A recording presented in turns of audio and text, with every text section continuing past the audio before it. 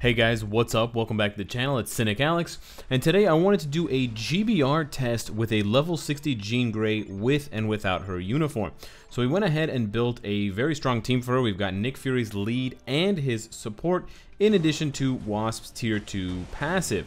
Now the really great thing about Jean Grey, whether using her uniform or not, for GBR is that her leadership is the, the meta leadership for GBR. It's the um, debuff removal, which makes you, or debuff immunity, which makes it, you know, very difficult for you to get mind controlled, which makes it very difficult for you to turn on your teammates and kind of screw them up by killing them, or, you know, generally do things that would lose you the GBR run. But we're doing this actually to test her damage out, and we've got a CTP of um, Destruction to try to land our procs on, and we've got generally a pretty bad uh, set of teammates. I wasn't trying to bring anyone along who was going to really, uh, you know, carry things for me to kind of skew the results, so you won't be too surprised when you see who I'm running with, but, um, you know, rest assured that I intentionally kicked players who were joining uh, with tier two, with tier three characters, because um, I was really just trying. I'm really just trying to get a grasp on how well she can do.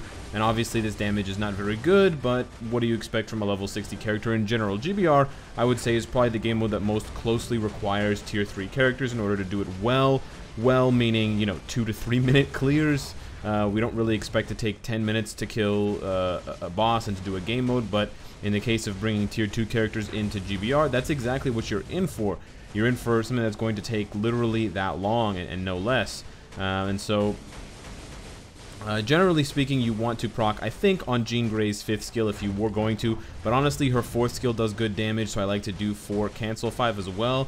Get some nice extra hits there, and her first skill actually does quite good uh, the damage there on, on one is actually quite good as well. So we're having a little bit of trouble, obviously, grinding this down. This is taking two minutes to get through this part, so I don't imagine that with this current team, she would be able to uh, clear the stage. But I just want to see, with an, with an average team, a below average team, how much damage I would individually be able to output.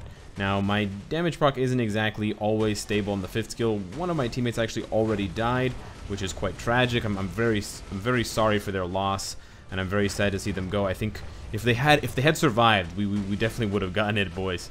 Uh, we definitely would have succeeded here. But we're down to 50 bars, not bad. It's it's not pretty. It's definitely not pretty, but it not only illustrates her survivability, which is, you know, arguably better with this uniform than with her base kit because obviously you get the extra stats and you get the extra bonus stuff and etc. Uh, all attack, all defense. But on top of that, you can see that the damage, well, we'll be able to see, I think, that the damage is going to be probably close to as good, if not better. And that first skill is doing pretty solid tier damage um, when you get that proc off. I think, you know, most of her skills actually proc well, which does indicate that maybe a CTP of Rage would be good for her but we'll have to wait and see. But I'm just curious to see here what's what it's gonna say when the damage pops up when well when we end up getting him into his next phase and then we see that the pop up here I think we're almost there we're very very very close it's taking about three minutes and change but we're, we're pretty close now uh, there we go. So it took three and a half minutes to do about 20 million damage. So that's a pretty good um, barometer to set. Three and a half minutes 20 million damage. Now we're going to do the exact same thing, except we're going to be using her base look, and we're going to see how much damage she does there. Now we're going in with the same team, but this time Jean Grey has her uniform unequipped. And now normally I test out uniforms and I compare them to each other when I try to, and, and, when I do so, I try to match up the energy attacks to see really what's going on in terms of which one is better and which one is worse. But in this case, Jean Grey's uniform does make that quite difficult because on the one hand, she doesn't have another uniform, and let's be honest, she's probably not going to get one for a long time, if ever. Um, and secondarily, um, she has such a large stat boost from her uniform it just makes it very difficult to manipulate one that's not only going to match, you know, the base stats of any uniform, which is i.e. that, you know, plus minus all defense, all attack, but on top of that, the, the extra 15% uh, all attack. It's kind of like Rocket Raccoon. It's very difficult to uh, emulate that same stat number, and you have to really skew the odds in favor of the, you know, ununiformed version um, because the new uniform just has so many uh, extra bonuses. But in this case, I don't really think it makes sense. You know, Yes, she has 6,000 more energy attack roughly with her uniform because that's the uniform bonus. So if you were to match them, you're not really illustrating how the uniform makes her better because you're you're giving her a shittier team when she doesn't have her uniform, and then you're overcompensating for uh, her lack of a uniform. So we're to see here how much damage I'm doing. I tried to amass another pretty bad team, and it seems by the lack of the bar moving that we have done so. And again, Jean's 4 and 5 combo is really nice, but her other skills just don't cut it in terms of damage. And so you really just stand around and get ready to do 5 and 4. You do a nice, you know, chunk of a bar there, but then the rest of the time you're kind of just, you know, doing nothing. And so I, I do think that on top of having better, similar if not better damage, that her new uh, skills have, um, you know, just a better flow to them. The, the cooldown is a little bit better, um, and I don't find myself just sitting around doing nothing with Jean waiting for skills to come off cooldown as often, or in some cases auto-attacking because you'd rather be doing something than um, nothing. But we've been we've been decently lucky with getting procs to land. Uh, one guy got mind controlled, so we have to be careful not to die here. But Jean is quite tanky with or without her uniform, so I don't see myself dying. Yeah, I don't think he can actually kill me, which is hilarious. Um, but we're going to try to proc all. We're going to do three, and that was garbage. Great. We completely missed our proc. Beautiful. Good old RNG. Screwing us on the potential and also screwing us on our proc. That one was good. There we go. We got a nice little bump there. But you can see that the damage is still really, really bad. And frankly, I think the damage is worse um, than it would be with her uniform. And again, you are missing the like 5,000 energy attack, so that is something to take into consideration. But we're substantially behind schedule here. We were at three. Did I get interrupted? I did get interrupted. My fourth skill got interrupted. As soon as I look up at the camera, I get interrupted. So that's awesome. But the, uh, we were about 30 seconds off at this point from getting him down to about 42 bars. And we're about 20 bars off of that. So you can see there, I've done about 20... Oh, really? I've done about 20 million damage, but why is he... Why does he have so much more HP? Did he heal? Did someone heal him? Who healed him? Deadpool? How is this possible? Why is he at 64 bars still? Okay, so it seems as though she's done... This is bizarre. I don't know. I guess I don't know as much about GBR as I thought I did. I've done about as much damage as the other Jean did in, in, about the same time, but somehow, instead of being at 40 bars, he's still at 62. So he's still 20 bars off.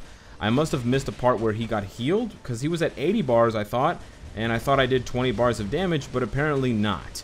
Um, but you can see that in general, Jean Grey, with this classic fit, um, with her regular look, her Phoenix look, while yes, it's great that it's fire damage, yada yada yada, um, you really only get damage from 5 and 4. 1, 2, and 3 really don't do any kind of notable damage, whereas with her uniform, you are going to get, um, man, come on, these procs are awful. With her uniform, you are going to get much more stable damage from all of all five of her skills. I think maybe her two skill is the only one that doesn't do very much damage.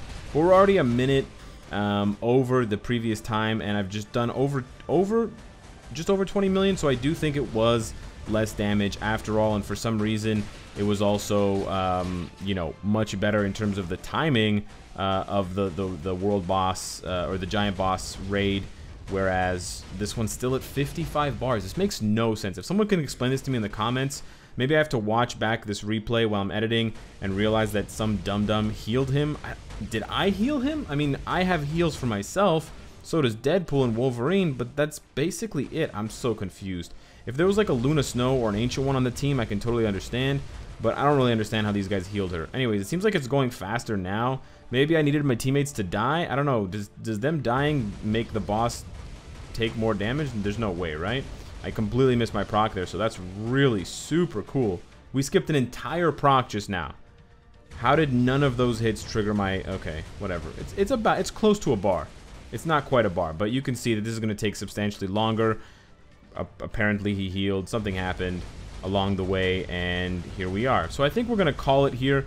Um, let me just meet you guys back in the main menu. So I haven't a clue what happened, but now we can take a closer look at Jean Grey and we can see without her uniform, she's rocking just under, well, she's rocking 24,800, just under 25,000 energy attack. And then when you put it on from 25,000, she jumps up to 31.5.